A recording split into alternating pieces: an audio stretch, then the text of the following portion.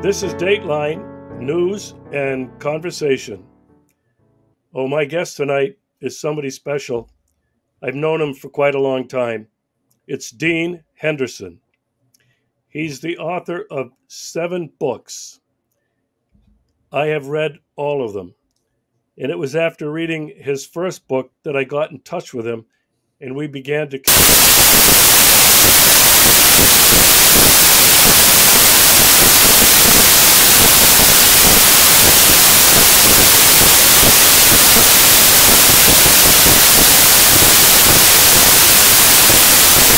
Account was frozen. Gives you an idea about who was probably not liking very much what Dean was talking about. Dean, welcome back to the show. It's been a while. Great to see you, Regis. I know. I'm really glad to see you again and know that you're okay. You have had such an incredible influence on my life, and I'm sure on the many other people who have read your books, or seen you on any number of shows. But I want to talk tonight about your most recent book that I could not put down. The title of the book is Royal Bloodline, Wetiko, and the Great Remembering.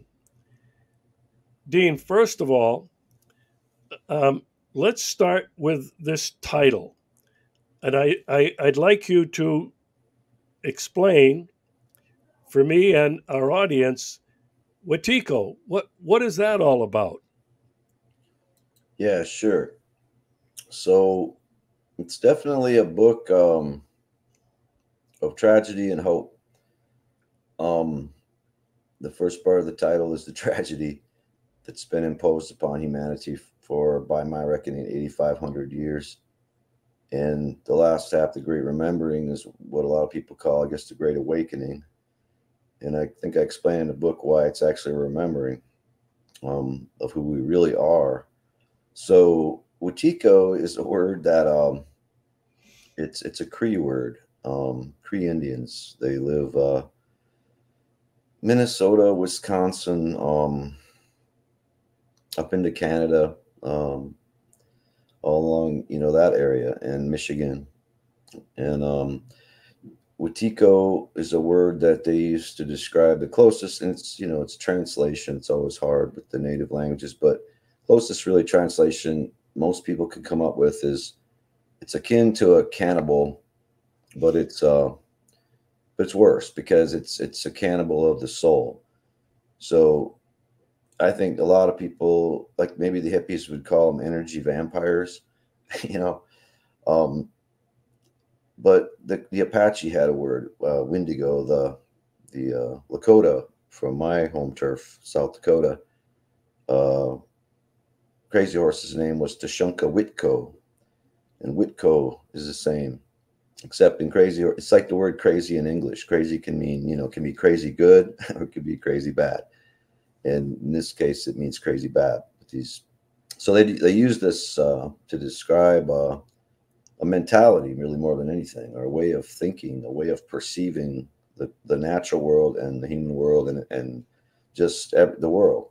And it really it's a fear-based uh, deal uh, where you know it's almost like a first strike mentality where you know and it's sort of like, well, I'm gonna, you know, go and blow up this country before they can, you know, do something to our country, or like this. And um, I think it's, uh, it, to my understanding, it's it's really synonymous with archons, which um, you know, in, in Egypt with the Nag Hammadi scrolls, the Gnostics who buried those scrolls called this these people and this energy they represented archons um, I think it's akin to the Nephilim, which is also synonymous with Anunnaki, which is also, in my understanding, synonymous with artificial intelligence and with maybe high technology, computer technology.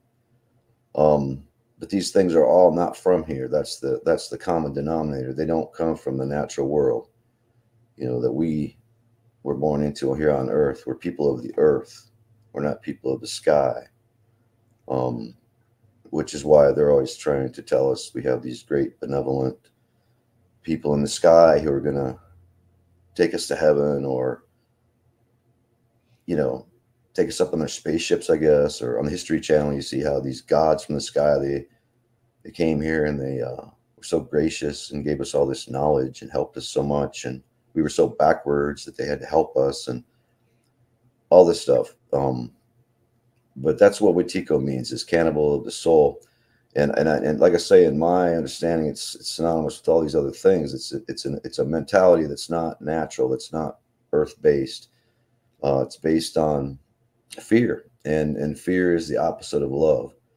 And when it boils right down to it, the cosmic uh, conflict is coming to a head here and it's going to be fear versus love and you're going to see a stark contrast opening, a chasm opening between those who embrace fear and those who embrace love.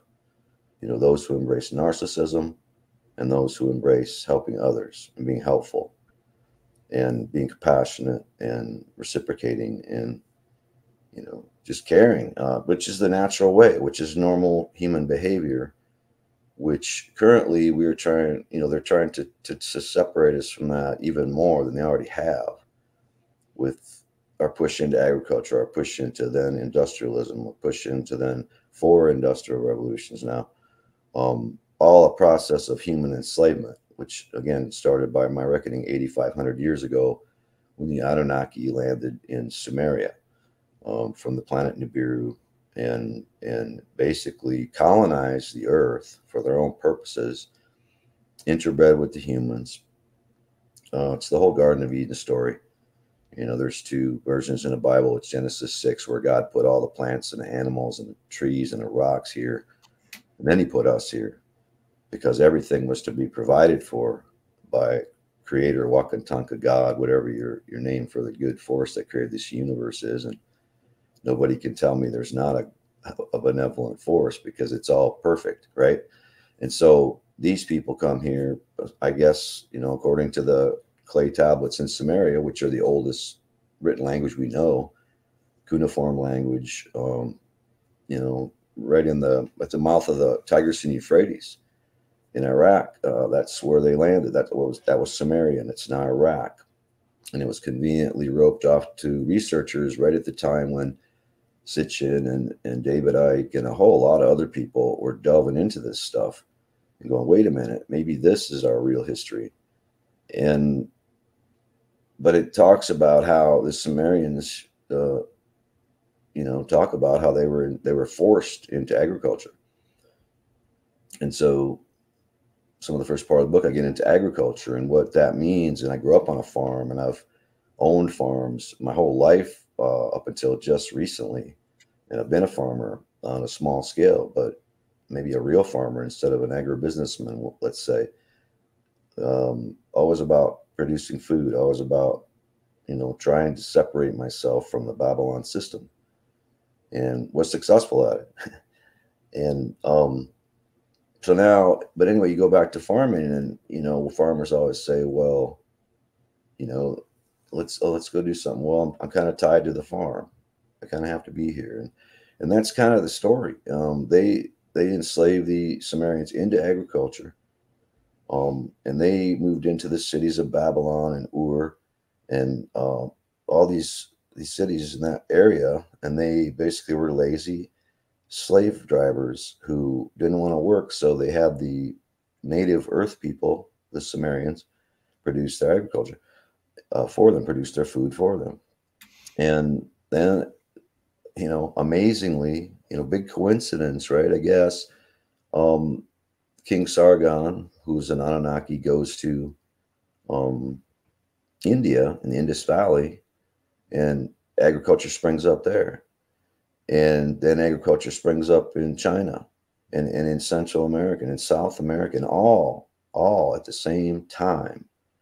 And at this at the very same time, all these temples were built, uh, whether it's Angkor Wat or whether it's Taj Mahal, or whether it's um, Tikal or Chichen Itza or Machu Picchu. These were all built, Göbekli Tepe in Turkey, Um, all these were built at the same time that agriculture came into being. So what happened, in my estimation, is that all the people of the earth at that time were forced into agriculture to feed the temple priesthood, um, which were the Anunnaki, which were not benevolent, which taught the native people how to sacrifice humans and maybe forced them to sacrifice humans. Uh, the Garden of Eden story, the serpent tempts Eve to take a bite out of the apple. And this is all about the enslavement of people from hunting and gathering societies to a cultivar based, livestock herding based, uh, sedentary way of life, which created a, a, a lot of paranoia in people right off the bat, too, because all of a sudden you're at odds with nature. All of a sudden, a hawk can get your chickens, or a coyote can get your sheep, or the wind can blow down your corn, or a tornado can blow away, you know and and you're and you you can't move you're you're stuck there. Um, you begin to accumulate possessions and possessions tend to what? Possess you and and you become cold and you become more interested in possessions than your family than humanity than nature and all these things that that become that happen when agriculture replaces hunting and gathering and foraging societies. And you build fences and you know a class system springs up because there's one guy in, in the area who's going to build an elevator of, you know to store the grain and even to this day you know grain storage grain shipping is huge because it's whoever ships the grain stores the grain has the capacity to store the grain that can sit on the grain and wait for the markets to be manipulated and then sell the grain and Cargill fills that role today. Um, 50% of the world's grain trade is controlled by the Cargill Corporation. It's a private corporation owned by a handful of families. Um, but but it was so then too, and so a class system, you know, comes into being, which didn't exist. Hunting and gathering societies were very egalitarian. Um, the abuse of women comes into uh, domestic abuse and, and men, I suppose, by crazy women comes into being because um, there's so much work to do and and it has to be and it's stressful and nobody knows their roles anymore and you know there was always a role for women in hunting and gathering society a role for men and and everyone's role was praised uh, in, in those days bravery was valued this is one thing that's really a problem in our society bravery is is beat down and a lot of times they've conditioned the female even to beat down the male bravery within your own household and keep you at bay so that you don't get at these Anunnakis and just tear them to shreds. And so this this all happened, and this was all bad, and and and uh, you know doesn't mean I hate farmers. I love farmers. I'm a farmer, but it just it's just it's a deconstruction of the process. Okay, and and and of course then we move into yeah. So anyway, I'll, I'll just leave it at that. We just but but that's uh, a long answer to uh, to kind of the meaning of the title of the book and kind of the, the gist of uh, the beginning of it. Anyway. Well, thanks to you and one Zecharia Sitchin, who wrote. I don't know, it was 12 books, maybe, whatever. I read every single one of them 30 years ago. Mm-hmm. And uh, I lost a lot of Catholic Christian friends because of how I yeah. viewed all of that and the Anunnaki and everything you're talking about, and the reinterpretation of a lot of Old Testament myths and New Testament stories. Mm-hmm. But what I want to mm-hmm. go back to, uh, because I, for a period of five years, worked with the Hopi Indian tribe, their government in northern Arizona. And I had to quit that job when I realized that what I was trying to do to help their government become more effective and efficient, which was the rage and the crave at that time in the 90s. Right. Uh, and then I, I met people from their 12 different tribes, 12 different communities scattered across this plateau. And I realized that I was doing to these native original peoples. And that's when I first I think, became aware hmm of what you're talking about, hmm what was natural, what was basic and human. And that's been on my mind ever since. And that's over 30 years now. And then I read your books, and I don't know that there's anyone who's currently writing that has been uh, as clear and factual and demonstrated such incredible research as you have. But let's talk just a little bit now on this basic humanity, which I think many of the original peoples around the world uh, who've been forced into reservations, who've been isolated, I don't care where it is, North America, Australia, doesn't matter. They still, and I know some of them as you do, feel that they have a message for us, the Wetiko, or as the Hopi called us, they called me the Bahana. hmm hmm Um, let's talk. Let's talk about those relationships a little bit more, Dean, because at the end of your book, you talk about the great remembering, being people being awakened, not woke, but awakened about what is our intrinsic nature what who are we really and i think this is probably the most important question that people have to ask themselves today. Who the hell are we? Hmm. Dean talk to me a little bit about those basic relationships not only with each other but with the animals with the plants with the earth with the water with everything around them. And the native people still hold on to that and we call them primitive, or we call them uncivilized, and we call them savages. Let's Mm. talk a little bit about that. Yeah, yeah, it's pretty rich, you know. Um, since the real savages, of course, are the people that live in the castles in Europe. Who, you know, long story short, that's the that's where the Anunnaki bloodline resides. So it's the royalty, uh, which is one single bloodline, um, which I discovered writing this book. I learned a lot. Um, so Native people across the board um, and I, I've studied a ton of cultural anthropology. I took a lot of Lakota studies classes in undergrad. I took more classes, uh, Native American history and different things um, in my getting my master's degree.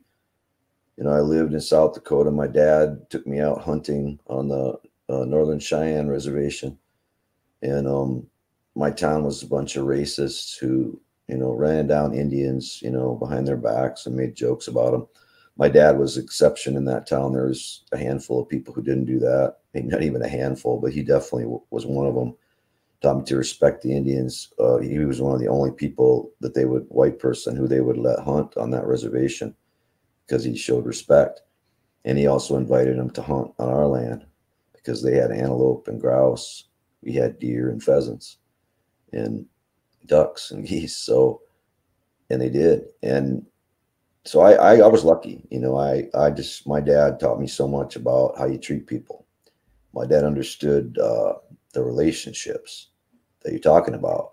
And it's really simple. You know, the, the native view is, is two things, reciprocity, you know, reciprocity, not just to other people, but to, but to nature, to the animals, to the plants um, and it's and it's understanding that life is a circle. So, you know, Wetiko think that you just go in a straight line and you get what's yours, and the hell with everyone else. And native view is more, you know, circular to where, you know, if you uh, do good things in life, it comes back around, and it makes your next, your very next step in life easier. Your very next step and it's a scientific fact that that's true. It's been now it's being proven by the new science you know people talking to water and it reacting to sadness and plants reacting to you know they, get sad when they're going to get harvested. And th- all this stuff is is is now acknowledged uh, by even mainstream science. And yet people still, because of the royal bloodline um, indoctrination through the royal societies, because the royal society, you know, first they corrupted the Catholic Church, then they corrupted the Protestant Church. They hid behind each of them so that people would blame the Catholics for things, and then later would blame the religion in general for things, but hid behind it, being satanic um, pagans is what they were. And Indians aren't pagans, by the way. So uh, lefty folks need to get that right because uh, Lakota, where I come from, are monotheistic and they believe in Wakantanka. And it's the great mystery. We don't understand it. We're humble people. We're stupid. We don't really understand, but we just really appreciate your, your, your creation that you made us. And we're so appreciative of that creation. Again, the reciprocity in the circle of life and this is this is a scientific fact and that's why when crazy psychopaths you know like israel and ukraine and then the people that handle those entities which in the end again is the crown we can get into that um they don't understand reality and so they end up when the circle comes back the snake eats its tail and it's Ouroboros. and they don't understand reality reality doesn't change just because you perceive it in a different way. It's still reality, you know. So you can live a life and be a shitheel and your life's going to be miserable. Or you can live a life and be a good person and your life's going to be good. And yeah, you're running, even as a good person, you run into shithills, but you learn to deal with them too. And in general, your life is is good. And so it's just science. and I would argue that the Indians were the you know they were the real scientists because after the Anunnaki corrupted the Catholic Church through the Council of Nicaea, 300 AD, Constantine the Great, a Habsburg, uh, just changed everything um, that's Peter and Jesus and any real Christian would have done or thought or perceived. Then they go to the Protestant Reformation, which they totally funded, and corrupt that by saying you don't have to do good acts to go to heaven. You can just poof, you know, Jesus is my savior. I pray, I go to church, I go to heaven. Poof, up to the sky gods, right? And then they corrupted um, science. And this is where the Royal Societies come in. And that was their next move. Um, so they got behind science and, and they corrupted it and they turned it into not science. Let, they, it's see, let me Go ahead. Let, let, me get let me get back to the original people understood science as it was is and what it was meant to be. I think it's important for people to have a better, clearer understanding of what you're talking about reciprocity. You have a wonderful story at the end of your book when you're out in a snowstorm and you're seeing the deer crossing the road. Talk to me a little bit now about this reciprocity that the original peoples, wherever they were scattered around the globe, understood in relationship to each other, to animals, mm-hmm. to trees, and to plants, to water. Tell me a little bit more about how they viewed this reciprocity. And it should be obvious that how far we've come away from that understanding. Sure. Well, okay. So, for example, uh, again, Lakota people in my where I grew up, um,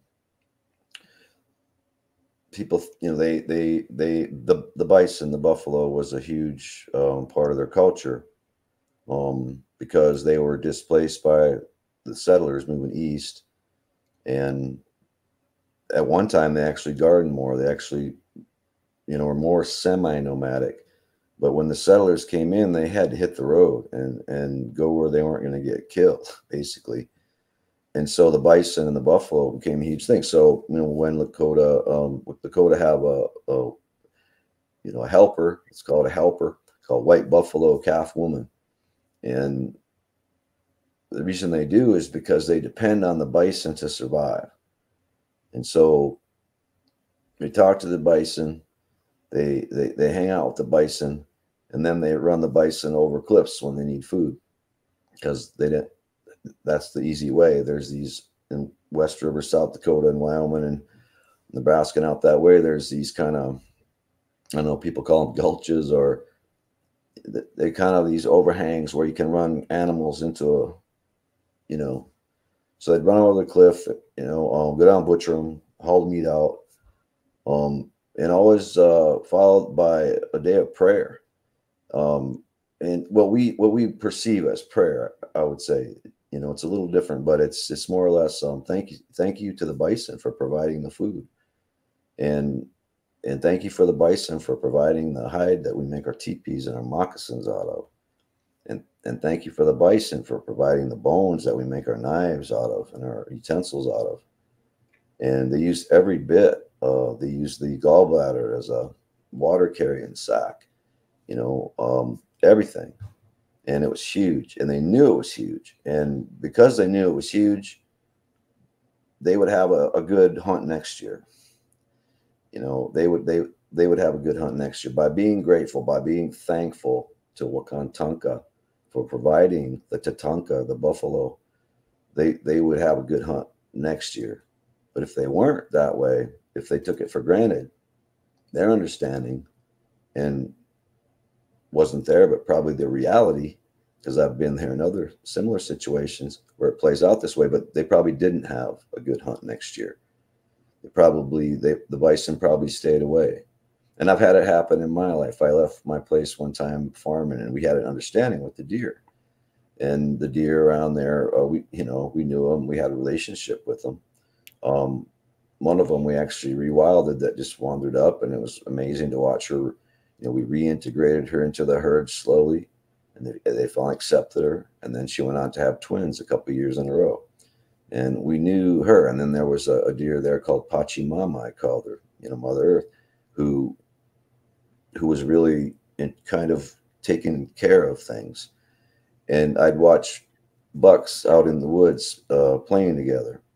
Um, yeah, they run after the girls a certain time of year, but it was never brutal. I never once saw them clash. I mostly saw them just, you know, let we got let's go get her. Um, and all these lies, see, about how it does, you know, like Wetiko doesn't believe in win win. Wetiko believes in duality, win lose. Like somebody has to lose, right? Mm-mm. It doesn't have to be that way. The, the nature of reality is if you just practice reciprocity, then it can always be a win win. And that's what it should be. And that's when the earth's in harmony. And that's when people are peaceful. And that's when nature is peaceful and that's when the animals come back to be hunted and that's when uh, the birds come to sing to you when things when you're doing the right things and i just in my own life know this is true i, I always see animals at, at times when things are good you know or they or, or they have to tell me something or they they warn me of something but you learn to listen to that you learn that that's real and that somewhere somehow part of our understanding has been wiped out. And, and I maintain that it is because the Royal Societies, the Anunnaki crown that invaded us, have lied to us about the nature of reality. It's just that simple. So it's not really a uh, we lost our spirituality, woo woo. It's more like we just lost our understanding of science and how the world works and, and logic and reality. And, and you look at a tree and the tree's a tree. It's not a rock, it's a tree. And so look, at where we are now. Um, a man is a woman, a woman is a man. Um, what they want is a machine is a human, a human is a machine. And these satanic Nephilim Anunnaki are scrambling again, like they did at the Tower of Babel when they scrambled, according to many Native American tribes, their, their languages were scrambled. And at one time, they could all talk. At one time, they could hear the animals talk in their language. At one time, everything talked to each other, and everything and everyone understood each other. And then, again, we were we were brutalized. We were we were by these people. Um, the, the medieval era. I mean, the current era of electronic feudalism, I call it, um, which which is what they want again. And we've been traumatized and we and we don't believe those things. Those things you know if you bring these things up in the mainstream people laugh at you. Uh oh, i'm so smart. And and they're so dumb. And but they don't know. And, and they just don't understand. And so that's why Indians are patronized, right? And that's why, yeah, big white brother, like what you were doing, go out and help the Indians. You know, you know, one one party just hates the Indians, the other one thinks they need help. The noble savage, they don't need help. they just need to be left alone. They just need to be left alone. Yeah. And then, like say, we need to learn from them because we're the we're the idiots here. Uh, the Western man, the the, the developed, uh, technologically advanced, machine-driven man. We're we're the idiots. We're the idiots. We're the idiots. We're idiots, and and and they're really smart, and they have a lot to say. And yes, there's problems with alcohol, and yes, there's problems with whatever on these reservations. Gee, I wonder why after what they've been through. But the old elders remain, and that knowledge remains, and we had better tune into it pretty soon because the older folks are dying and it's a struggle to maintain the languages in these tribes even it just is. It's not going well. People say oh isn't it great? They're learning their language. Well actually no it's not going well. I know it's not because i hear from lakota and they can't get kids interested in the language anymore. They're all on their phones and their computers and their devices and their screens and they're being sucked into this ai system this nephilim crown satanic cult. That's where it's at. But I mean, do what you want. You know, it's your life. If you want to have a, a happy life, um, my suggestion would be to start begin to understand the nature of reality. You know, you just said they need to be left alone. It took me five years of working with the Hopi tribe to actually quit and walk away because I realized they needed to be left alone. The people in the villages are the ones who who preserved and contained the ancient wisdoms and practices and it was those people working in the government which was established by the united states just like american government and i i, I realized oh my god i need to leave these people alone and i resigned publicly in front of a group of 100 people Good for you. Uh, I, am not saying this to pat myself on the shoulder. No it it it it was a, a, journey that I was on. Yeah, took a long time to figure it out, sure, and coming too. into contact and coming into contact with these people, and I realized that yes, we were the Bahana, we were the Wetiko, we were the outsiders, we were the ones that brought them evil, we were the ones that tried to change their ways, when their ways were the original ways, yeah. the ways that were yeah, determined by the creator or the force or whatever you want to call it. Now, I, I want to point out to a number of people. Um, you talk a lot about research and about facts. You keep coming back to the royal bloodlines, the crown, the Anunnaki. And for a lot of people, this scares the crap out of them. They, they just can't deal with it. You know that better than I do. But I'd like to focus now back on you and your journey. Because in reading your books and knowing you, I think you've been on a personal and spiritual journey, an awakening. And you've also been at the same time on an intellectual journey, researching all of this information that you've been involved in, and that has developed and it's grown and it's expanded. And I think it's come to the point today where this book, and I want to encourage everybody to get a copy of this book. I'll put it in the description Royal Bloodline, Wetiko, and the Great Awakening. Now, Dean, I want to get a little personal with you now. Uh, you have a chapter in the book that I absolutely loved. Uh, I think it showed so much about you and your awakening to what is really real. Talk to me about Slow Loris. Slow Loris, yeah. I kind of wanted to use it for the title, but Jill said it was too far out and people wouldn't get it. She's probably right. But okay, so yeah, Slow Loris is my cat. And um he's 11 and a half and he's uh he's a character. And um, I had two other cats, and um, they passed and tragically. And um, and you know, I, I had cats when I was a kid, and I had dogs when I was a kid, and I guess I just took it for granted. I lived on a farm. We had sheep, cows, pigs, pheasants, chickens, ducks, geese, animals everywhere, right? And um, I was in 4-H, showed livestock, I judged livestock.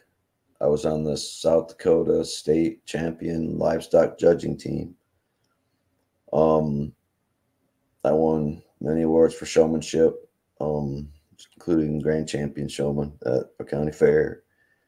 Um, that was my life. You know, I grew up on a farm. I was uh, very sheltered from the outside world. Um, but we had dogs and cats. Okay, so later in life, um, I got dogs, and uh, again, and had two dogs for, mm, geez, fifteen plus years. And they went everywhere with us, and um, they passed. Uh, let's see, Milo passed in two thousand five, and Buck in two thousand three, and um, then went for traveling for a while, and no pets go traveling to Asia, I went to Australia, New Zealand, Indonesia Another time went to Africa, um, Southern Africa. One time went to Argentina. Just traveled, just took off, traveled. Came back. Um, my last farm uh, in Missouri um, on my birthday. on my birthday, um, we're canoeing the Buffalo River in Arkansas. Yeah, beautiful river. And a hot day and jumping in swimming holes and just having fun. Got home with a couple friends of ours. Got home and um, there was a mama cat on the porch with two kittens. And she had been coming around for a couple days just the mama. And we you know we didn't know. We just thought well there's a cat. Okay. Um but what she was doing was she was sussing us out because she got in a bad spot where you know they they were living in a hole in the ground and they were run you know she couldn't support feeding these three cats much longer. She's real skinny. And um, so that's where I never have pets, but here they come, you know. And what are you gonna do? These cute little kittens and their mom. And so okay, we let them in. So uh that was Harvey Wallbanger and Silent Bob. and uh which as you saw I dedicated the book to. And um I don't have the book handy and I don't remember the exact dedication even, but something to do with the love these cats gave me while the humans got lost in their screens. And they did. And they got me through uh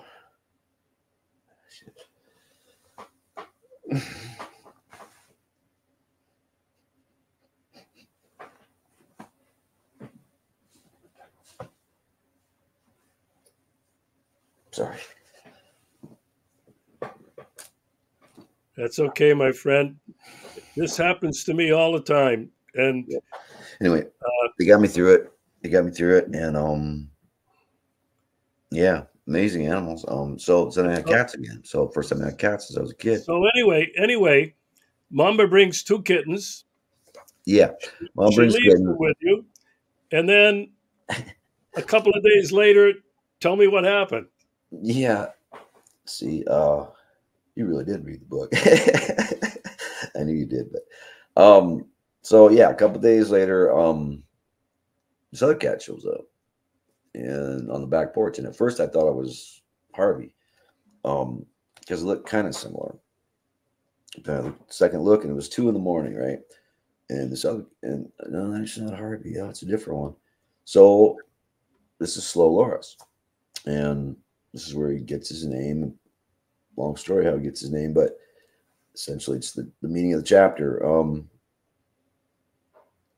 he just run off, and we had to get you know mom cat and the other kittens and use them as kind of bait. We you know took him out in the woods finally because he wouldn't come in, and um, brought food and you know all this stuff, and kind of left them there, and then kind of I don't know somehow got him in, but there he was. So there are three kittens now, and um, 2017, the other cats tragically died. That's I can just barely talk about it still. Six years ago, and I don't want to get into how, but it was bad. It was like just uh, like evil. Uh, in one case, just evil descended on my property, probably and probably because I was researching and writing, and, and uh, you know, there's all kinds of attacks uh, like this uh, on everything. You know, all things that whatever. I don't want to get into. It. I don't care. But bottom line, um, we died, and so uh, Slow Loris um, remains, and and uh, missed his brothers. Uh, hard for him. Uh, got through it, and by the time we left uh, Missouri uh, to go back to my home state of South Dakota, um, he was ready to because uh, the sadness and missing his brothers, and so we became the pride, and we became buddies, and more and more and more, and there was just always something about this cat, and um, I just in my gut, and I still believe it to this day, that whenever something bad would, if, if something bad were to happen to him, um, there's going to be a cataclysmic event in the world. I'm not joking. I mean, you know, and um, so I gotta, I gotta take him all the way. I gotta take him to old age and let him die that way, like that.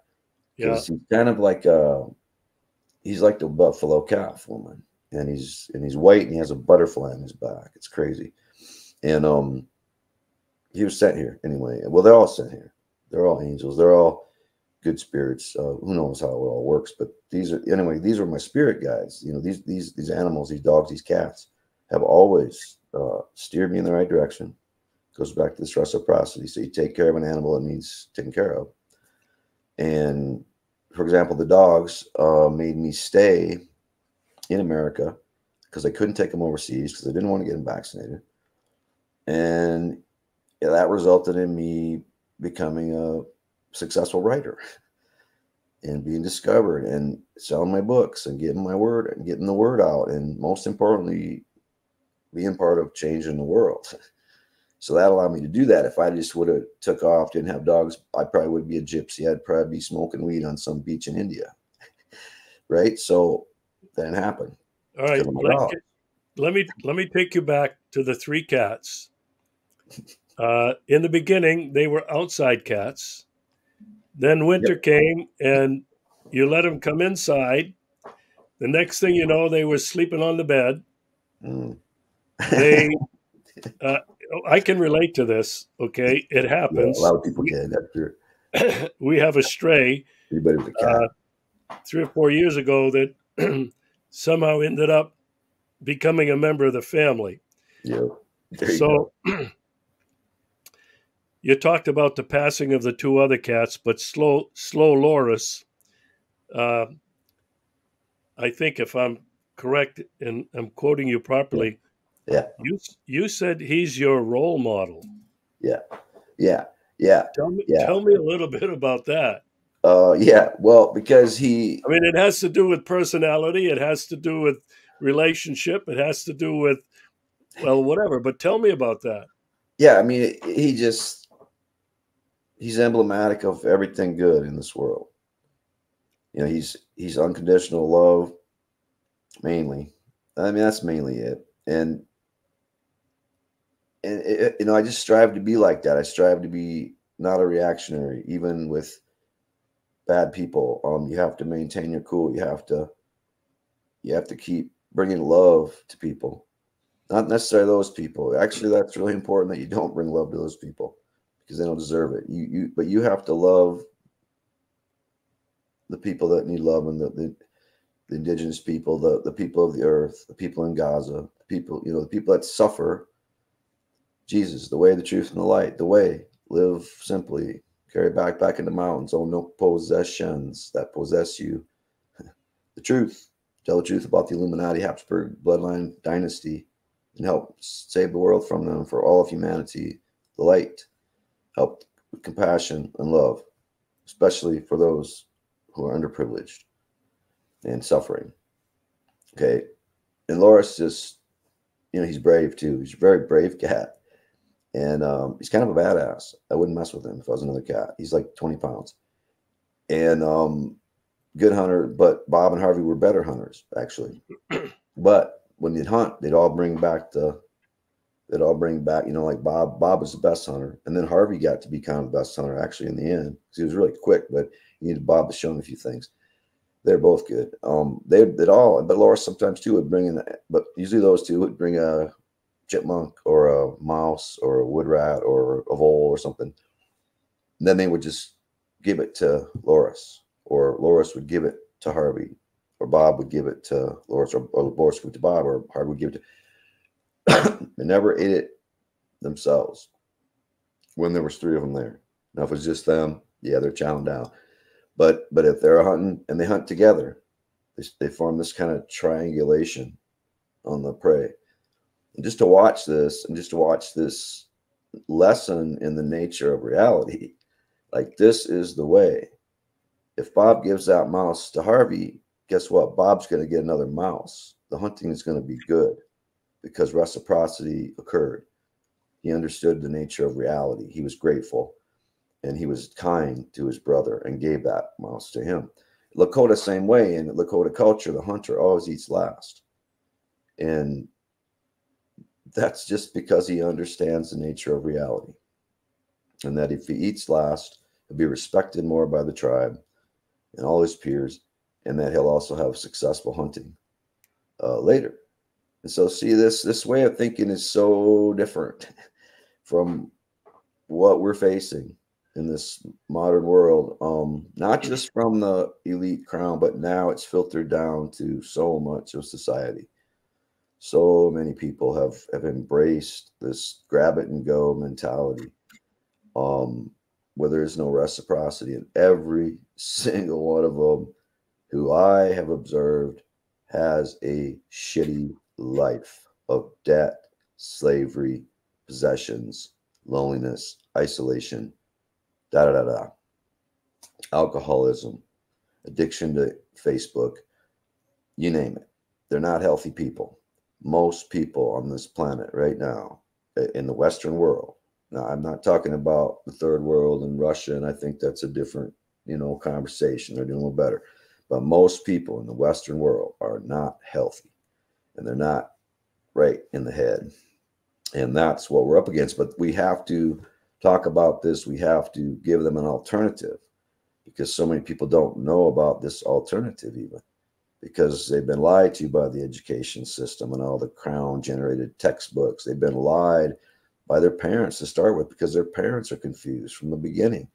And then they're just lied to their whole life and they're taught that it's a pyramid. And you want to get to the top and, you know, the hell with the people at the bottom. And, um, you know, it's a psychosis. It's just it's it, it's it's the Wetiko. This is the Wetiko, and what we need to do is to get rid of that. Is just to understand the nature of reality. It's just really so simple, and that I believe is the central point of the book. Is that our problem? No, yada yada yada about the Anunnaki and the Royal Society and yada yada yada. And I shouldn't say it because it's really important, but but whatever it doesn't matter. We have to understand better the nature of reality and then we'll have happy lives and then we won't have wars and then we won't have uh, we'll have free energy and we'll have all these things because we're finally scientific about things logical about things again and we finally sit down it's like look action observe inference conclusion. But people don't even observe anymore. They don't pay attention to anything. And they're walking around with preconceived notions. And those are which are formulated by the establishment through an MK Ultra style Project Monarch that's now gone mass. And it's a mass Monarch project right now using screens to reinforce dumb ideas, to reinforce misconceptions, to reinforce lies. It's intelligence operation, you know, driven, um, of course. And we're in a bad way, but we're also in a good way because the great remembering, the great remembering is proceeding apace and gaining ground. And my book sells last month where I have never seen anything like it. And people are waking up. And people in the United States, even 32% of the US citizens now support Israel. I don't know if you knew that. 32%. Even Biden was forced to come out, what, yesterday and he didn't talk about Israel at all. He said, My first priority is the Palestinian people and their well being. And he had to do that because 100 people in his State Department wrote him a letter protesting their, his unconditional support of the bombing of what? Hospitals and schools. Hospitals and schools. And mm-mm. so we're coming to a head here. We're coming to a collision on a collision course with these Wetiko. There's always going to be the powerful elite that they're not, they know exactly what's going on. They do know the nature of reality, but they hide it from us. They hate us that know it. They know we're more powerful than they are. They know that's the key. they know we're more powerful than they are because because creator Wakantanka, the creative force, is way more powerful than Satan and his minions of fallen angels, or however you want to look at it, archons, Wetikos, however you want to look at it. Just evil, just deception, just bad, good versus bad. So simple. That's what we're at. And and there's a collision course coming. And I know because I have great faith. And I observed slow loris and I observed the deer in my backyard and I observed, yeah, the deer crossing the road in the book. And hey, by the way, when we left uh, current place, uh, the turkeys, they, they did a circle around our building. and they were saying, you know, see you later and maybe putting a shield on that building too, because we were kind of stabilizing force at that apartment complex. Let's just say, um, good's going to win. Now, whether or not it happens in my lifetime, your lifetime, you just or how it happens, or you know, is there going to have to be a total wipeout of humanity, maybe by a cosmic ray because nobody got it or not enough? I don't know. I don't know that. I just know that in the end, good always conquers evil. And that is a truism, and that has to do with the circle, and that has to do with the nature of reality. So as far as doom and gloom, I never have it. I never have it really. I mean, it's real frustrating.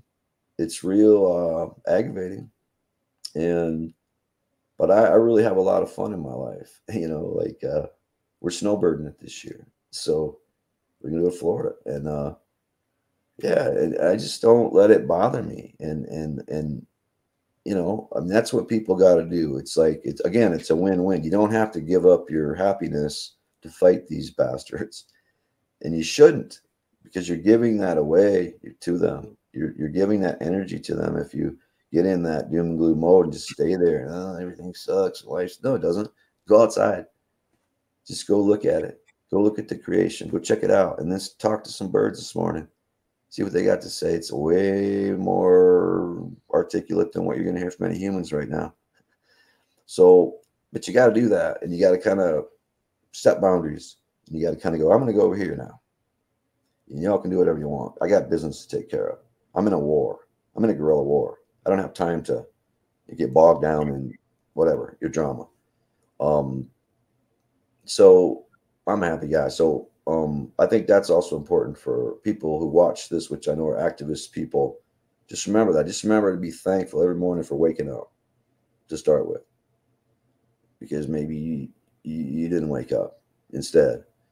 And what a blessing to have another day, another shot at it, uh, another day to, to see the beautiful natural world. And but to you know, you, obviously you have to get out into nature as well. You can't sit in your house and go to the screens and be affected by all this propaganda, um, you have to go outside. You have to separate from the propaganda. We do these interviews.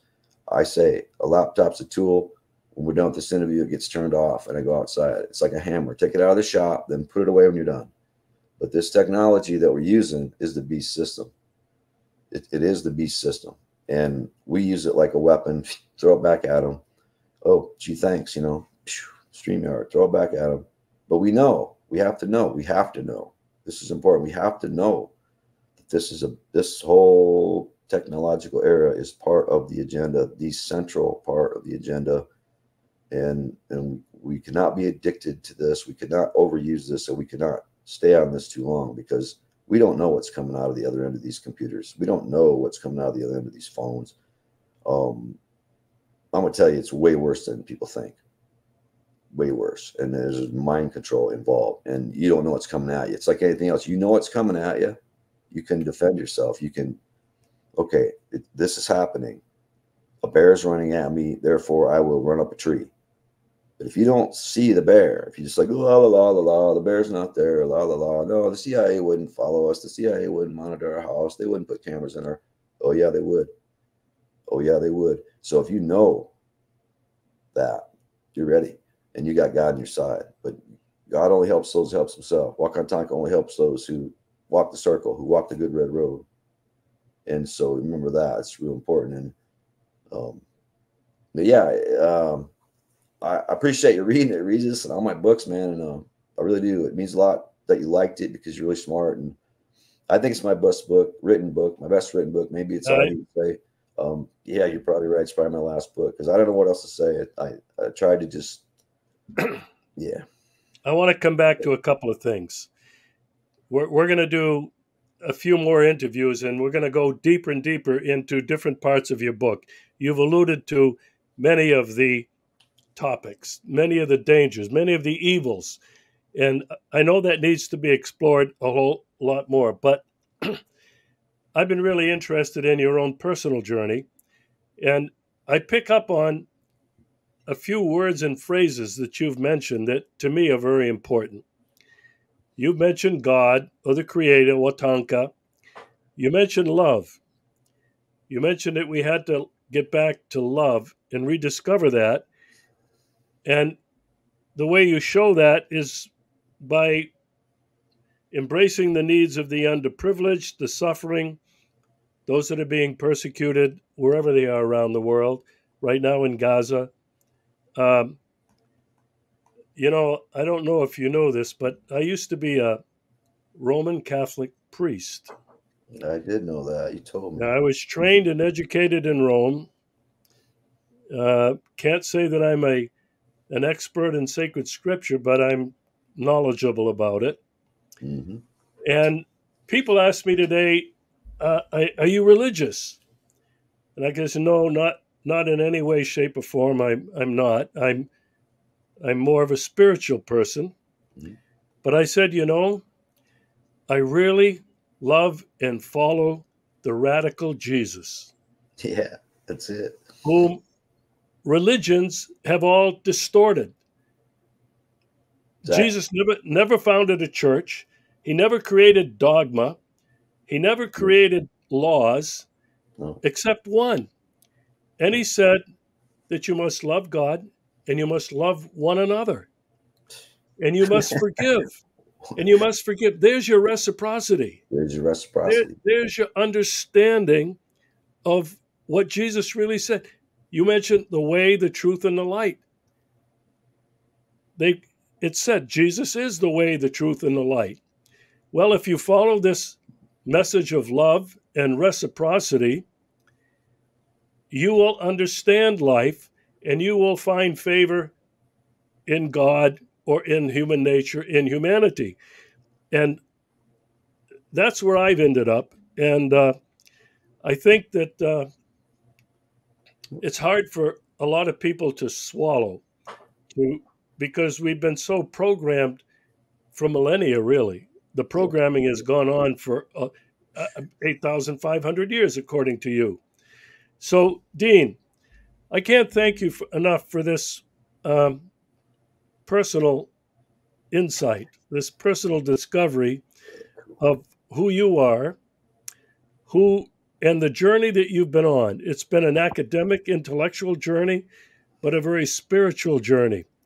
And this is what I've really related to. So I can't thank you enough. I hope you can find the time to come back with me maybe in a week from now and and go a little bit deeper into the book because I think what I tried to establish tonight was who is this Dean Henderson? What is he really like? What does this man think about? What is it what is it that motivates him and I think that we were able to bring that out tonight, Dean, and I was very happy to do that.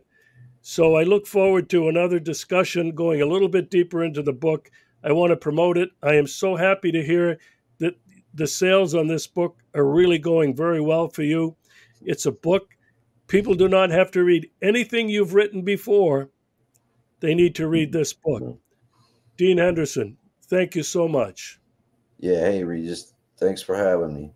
Um, and uh, just so folks know, uh, they can subscribe to my my writing again at Dean Henderson Substack um, for free. you know, just click the whatever button. And um, Jill worked tirelessly for the last five months to get my old left hook site, which was on WordPress, which was the one deleted.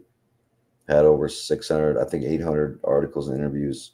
Some with you, I believe, for sure, from the past. And we got it all back up on Substack. So, and you know, that's where you can find my writing on the internet again because I was gone for a while as far as, you know, writing or whatever. And then my books are at Amazon. Just type in Dean Henderson Amazon if anyone's interested. And I just sure appreciate having me, Regis. And um, I'm glad you missed the storm. And, uh, you know, we'll talk soon.